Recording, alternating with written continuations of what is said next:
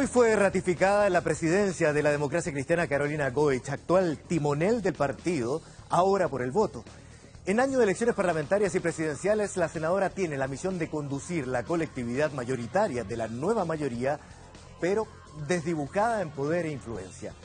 Aunque el partido determinó contar con un candidato, no ha aclarado si este participará de las primarias del conglomerado o irá directamente a la primera vuelta en noviembre, arriesgando una debacle parlamentaria corriendo con lista propia.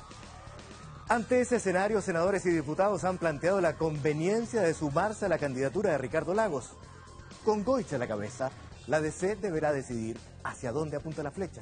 Si emprende vuelo propio, lejos de la comodidad de la coalición, o logra mm, amoldarla en una versión que interpreta a los sectores más conservadores, incómodos en el actual gobierno.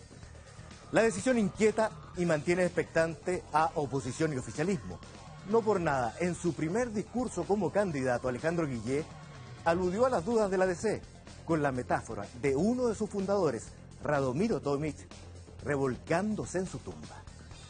Bienvenidos a CNN Prime, estos son los otros titulares del día.